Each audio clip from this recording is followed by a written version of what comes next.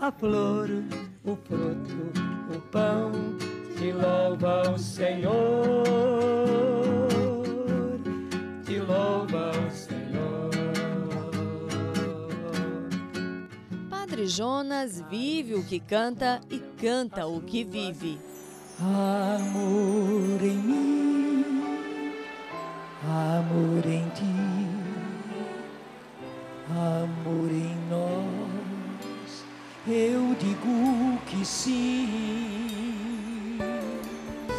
foi para contagiar o mundo com esta música que nasce do coração que ele fundou a Canção Nova.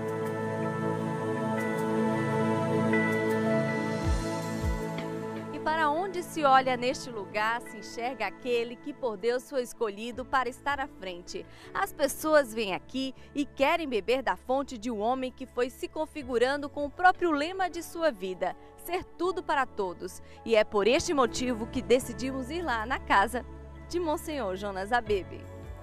No auge dos seus 76 anos, Monsenhor Jonas continua incansável. Amante das leituras espirituais, se dedica à contemplação e oração durante todo o dia. E à tarde, quando o sol se põe, é comum vê-lo no jardim contemplando Deus através de suas obras. Quem mora na mesma casa dele confessa o quanto ele ensina com sua vida. Eu vivo na mesma casa com ele né, com Eto e outros jovens da comunidade estão sempre circulando por aqui, pessoas, mas é uma provocação ao amor, à caridade, à bondade, à santidade de vida, à vida de piedade. E foi assim, com sua ternura, que resolveu nos dar uma palavra sobre esse tempo em que ele mesmo definiu como de recolhimento e oração. Uma coisa para cada tempo vejo que o meu tempo que Deus me concedeu e para qual Ele me empurra é esse justamente. Né? Não de grande ação, mas de estar mais recolhido, de estar mais em contato com o Senhor, de ser realmente um agente que trabalha muito e reza muito.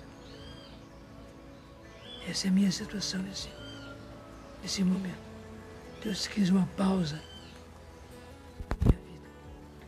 Estou nas mãos da providência. É a providência que sabe né, o que é o melhor para mim, o que é o melhor para o nosso povo. Estou disposto realmente a obedecer a ordem de Deus. Sobre a canção nova, Monsenhor Jonas evita qualquer vaidade e atribui o crescimento da obra a Deus e sua providência. Eu sabia que Deus faz grandes coisas, mas quando pude tocar aquilo que Deus fez em todos esses anos na canção nova, eu só posso dar graças a Deus. Ele é o autor de tudo isso. Graças a Deus a canção nova é um pedacinho do céu.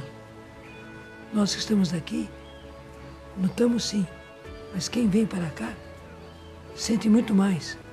Deus a um lugar para ser um cantinho do céu, onde a pessoa tem muita alegria, onde a pessoa tem muita oração, onde a pessoa tem muita atividade.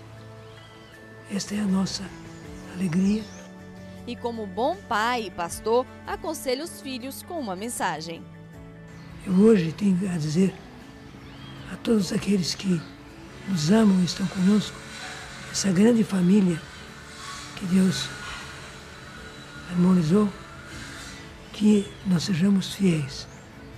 A fidelidade a Deus e a fidelidade no nosso estudo, fidelidade no nosso trabalho, fidelidade na, na nossa evangelização, o Senhor nos quer fiéis.